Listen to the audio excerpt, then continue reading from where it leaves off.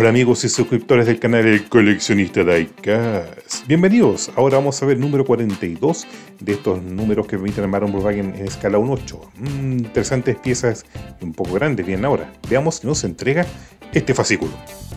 Al revisarlo nos encontramos con poquitas piezas, la verdad que son como 6 piezas y un set de tornillos que permiten armar lo que es el piso del maletero trasero. Viene una alfombra incorporada.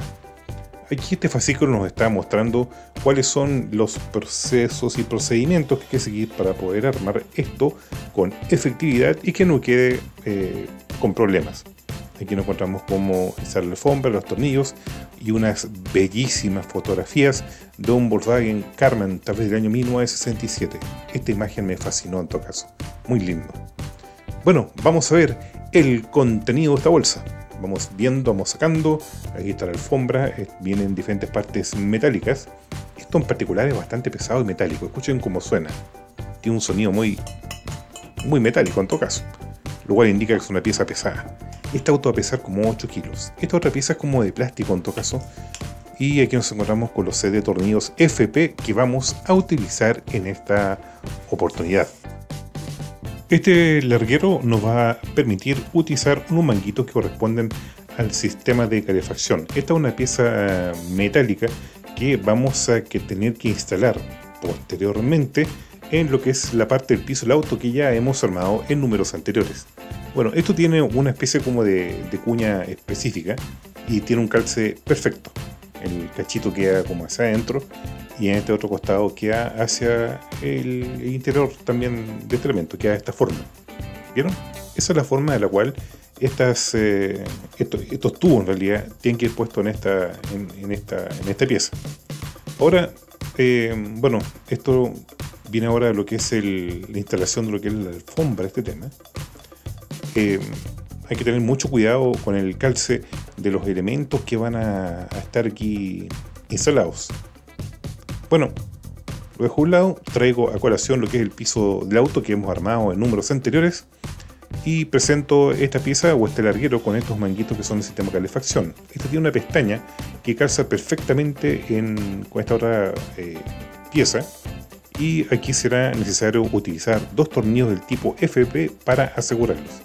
Ahí se me salió un poco, lo estoy colocando nuevamente.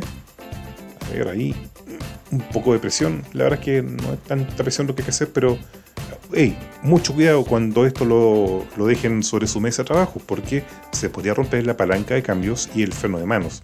Entonces, la sugerencia es que tomen mucho cuidado para que estas piezas queden mirando hacia arriba, hacia ustedes, y no hacia abajo.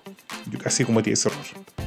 Bueno, utilizando aquí mi super tornillo inventado, utilizo el tornillo FP y procedo a colocarlo como un elemento de sujeción en este orificio que está previamente diseñado. Aquí con velocidad láser digital biónica lo estoy atornillando y utilizo otro tornillo FP que lo estoy colocando aquí en el, atornillador y procedo a instalarlo en este otro espacio.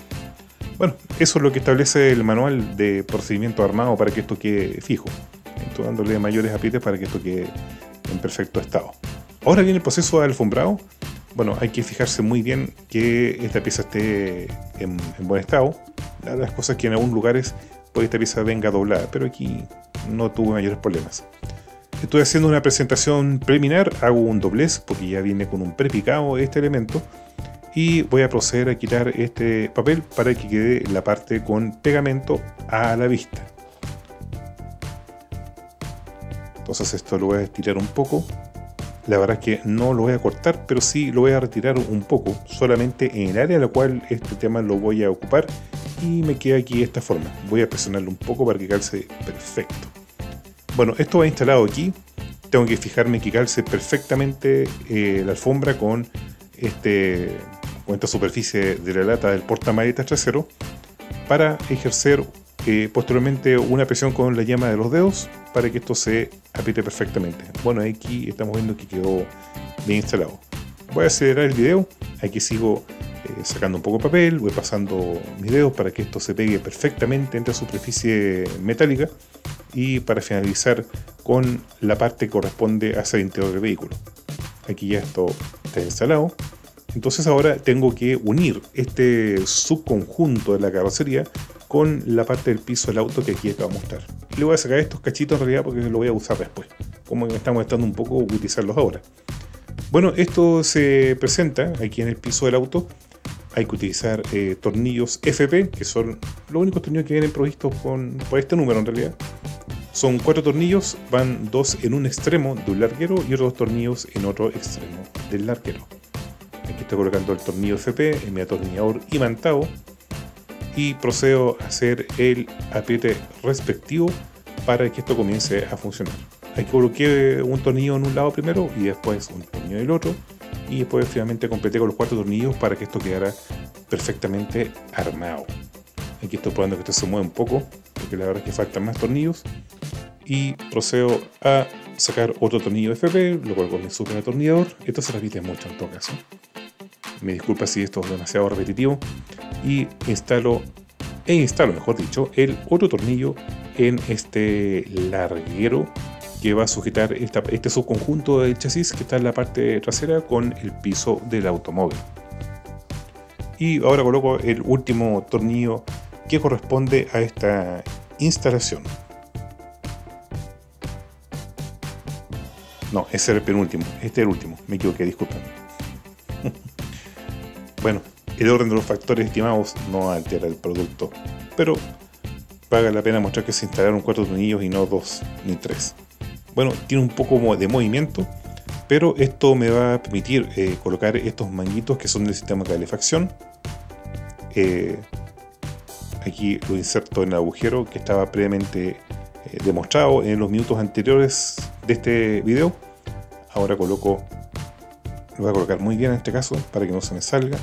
Cuesta un poco colocarlo.